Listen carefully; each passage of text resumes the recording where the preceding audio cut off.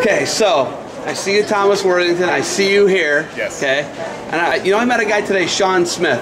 And you and Sean Smith are very similar in this organization with OAC. You win with people, as Coach Trussell used to say. Yes. Right. And you two of the guys have been with him since the, since ground level.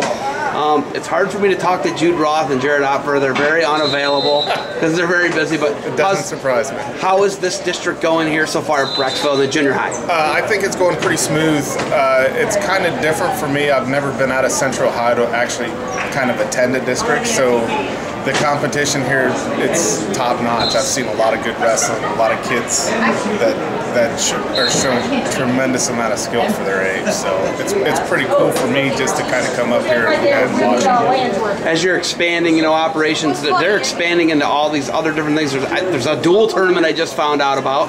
Uh, there's a, a junior high state dual meet tournament next weekend at Thomas Worthington, uh, and then the weekend after that they're doing, which is new this year, their divisional state.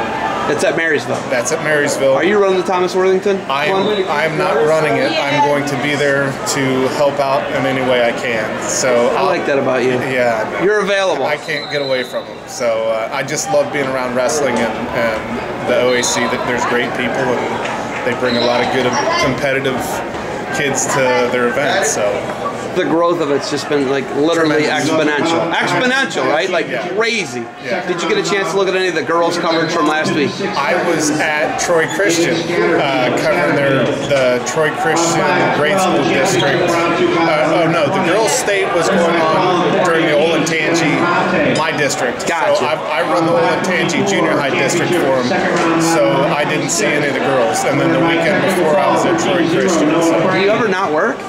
I do. My, my wife yells at me a lot, but uh, I used to to coach wrestling, so the amount of time I was putting in on tournaments and stuff like that doesn't compare to doing this. So she really can't yell at me too much. So. All right, uh, Cavalli Center. How excited are you for grade school state and then junior high state? How excited are you? Uh, I will be there for junior high state. That's always a, a tremendous event. Uh, I know they're changing around and starting a little earlier this year because the NCAA finals are in Cleveland. So I think they're going to try to end that round on Saturday to get people out to watch the NCAAs. I'm trying to get a ticket right now. I got a buddy up there that's wanting a ticket, and I might slide out of there and go see the finals Saturday night. So that's a little added bonus. Excellent. I caught you walking out the door here. You got anything else for me?